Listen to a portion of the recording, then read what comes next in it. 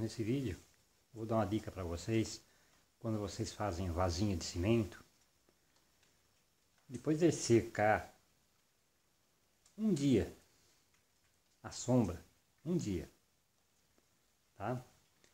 Ele não vai sair do vasinho. Ele vai estar tá com uma certa resistência, mas não vai sair do vasinho, tá? Ó, foi feito areia cimento. A gente vai precisar, vou ensinar para vocês como tirar isso aqui facinho. Se vocês quiserem deixar no sol, ele sai também. Mas se não sair no sol, tem outra solução. Então a gente vai fazer o seguinte. Vou ensinar para vocês. Vocês pegam um pouco de água, ferve, tá? Água fervendo. Aí avisar de uma, uma vasilha. Gente vai virar ele de boca para baixo. Aqui. Vou virar o outro também.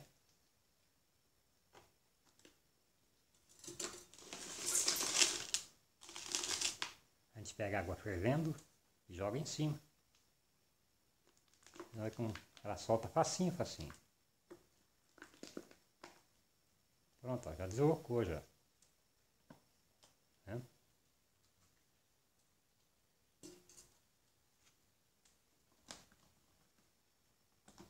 Ah, um pouquinho.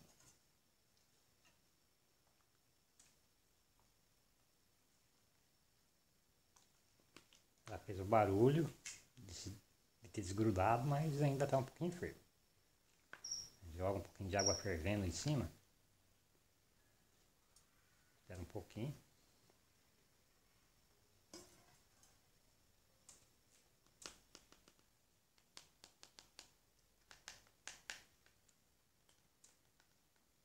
Agora ela já solta. Ui, o que está em cima está quente.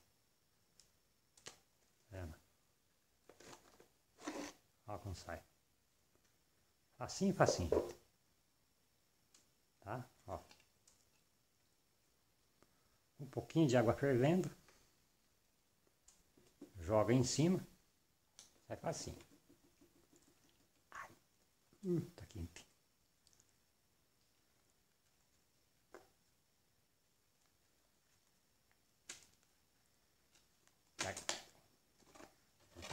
pouco quente.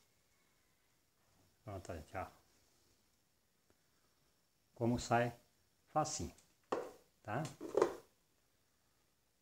Aqui, ó. Aí no canal eu ensino vocês a como fazer esse vasinho. Agora ensinando para vocês, dando uma dica para vocês como desenformar. Fácil e rápido. Tá bom? Bom, por enquanto é só isso. Espero que vocês tenham gostado de mais uma dica. Obrigado a todos.